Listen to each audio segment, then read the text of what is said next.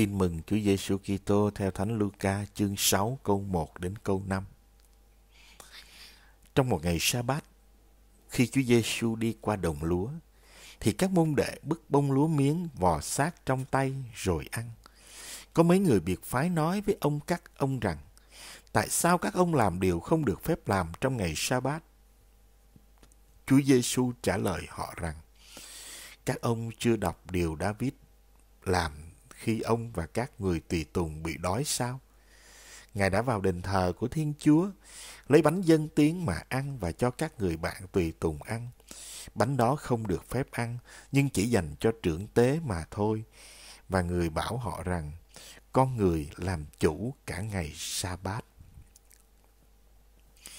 Kính thưa cộng đoàn, suốt thời gian thi hành chức vụ công khai, Chúa Giêsu chống lại óc pháp trị không ngừng áp đặt luật sa bát trên con người.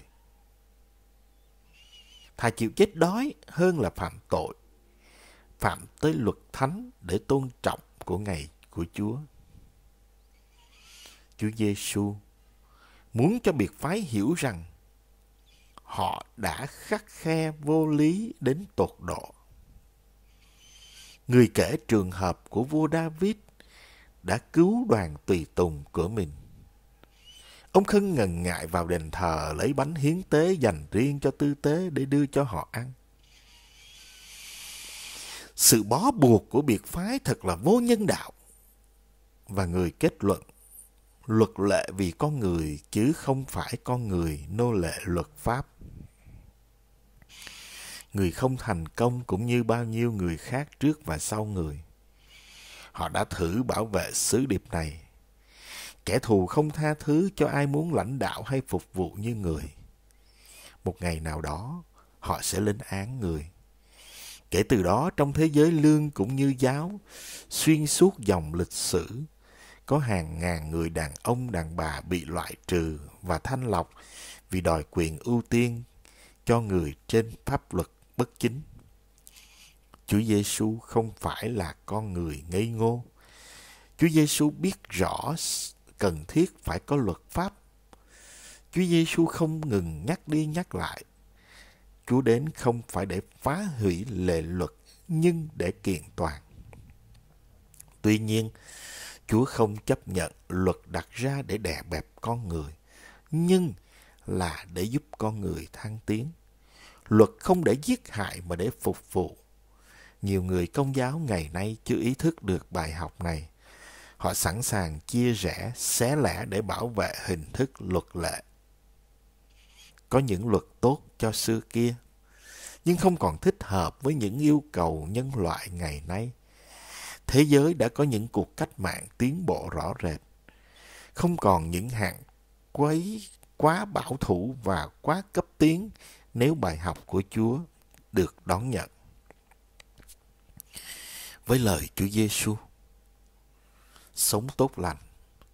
Thánh thiện không hề tại ở chỗ thi hành lệ luật, mà chính là sống theo tinh thần của lệ luật. Một người có thể giữ hết mọi lệ luật, nhưng có thể chưa phải là một người thánh thiện. Lệ luật tự nó là tiêu cực. Lệ luật thường đưa ra những điều cấm đoán.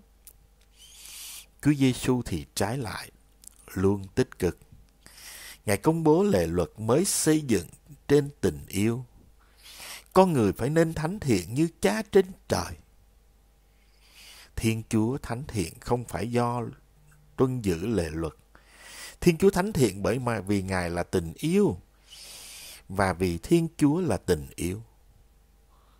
Cho nên, ai sống trong tình yêu thì thuộc về Thiên Chúa và nên thánh thiện trong bài chung luận về ngày sau hết. Chúa Giêsu không dùng luật để phán xét con người, mà chỉ hỏi con người có yêu thương tha nhân đồng loại không mà thôi. Trong tin mừng hôm nay, sự kiện các môn đệ đi qua đồng lúa và bức lúa trong ngày sa bát làm nổi bật sứ điệp của Chúa Giêsu. Cuộc chạm trán ngắn ngủi giữa Chúa Giêsu và các biệt phái cho thấy ý nghĩa đích thực của lề luật. Bánh thánh là biểu hiện sự hiện diện của Thiên Chúa giữa cộng đồng. Bánh thánh của người Do Thái cũng màu nhiệm như bánh thánh của Chúa Giêsu. Nó biểu hiện phép thánh thể. Không người Do Thái nào dám sờ đến bánh thánh, cũng như không một người công giáo nào dám mở nhà chầu lấy bánh thánh thể để ăn trưa. Thật là trái tay khi nghe Chúa Giêsu biện hộ cho hành vi của vua David. Tuy nhiên, qua lời biện hộ này, chúng ta hiểu được quan niệm của Chúa Giêsu về lề luật. Lề luật là để hướng dẫn và hỗ trợ cho con cái Thiên Chúa. Không nên biến nó thành một gánh nặng. Nó phải đáp lại nhu cầu của con người.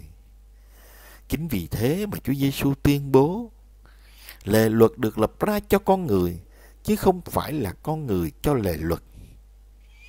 Ngày sa bát được lập ra cho con người, chứ không phải con người vì ngày sa bát con cái của thiên chúa là thánh thiện, chứ không phải là lệ luật. Lời chúa hôm nay mời gọi chúng ta nhìn lại cách sống đạo của chúng ta. Có khi chúng ta giữ đạo một cách chi ly nhưng chưa thực sự sống đạo chúng ta tuân giữ mọi lệ luật, nhưng chưa sống tinh thần của lệ luật. Cốt lõi của lệ luật chính là tình yêu. Tất cả mọi lệ luật đều thu tóm với răng yêu thương. Sống yêu thương là chu toàn lệ luật. Lời của thánh phaolô trong thư thứ nhất gửi giáo đoàn Corinto, đoạn 13 cần được chúng ta suy niệm và thực hành.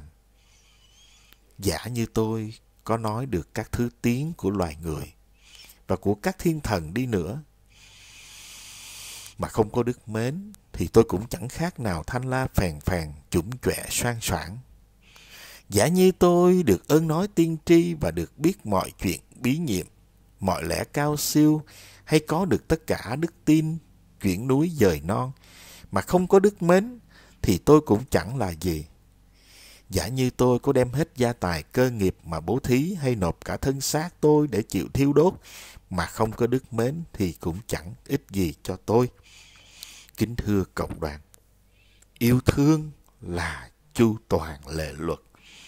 Tất cả luật chỉ là hướng dẫn cho chúng ta sống, nhưng chuyện quan trọng nhất là chúng ta phải sống yêu thương. Sống yêu thương là chu toàn lệ luật. Xin chúa thêm ơn cho mỗi người chúng ta, để chúng ta sống cốt lõi cái sứ điệp mà chúa mời gọi. Đó chính là yêu thương. Xin chúa giúp cho chúng ta luôn luôn yêu thương như là chúa mong muốn.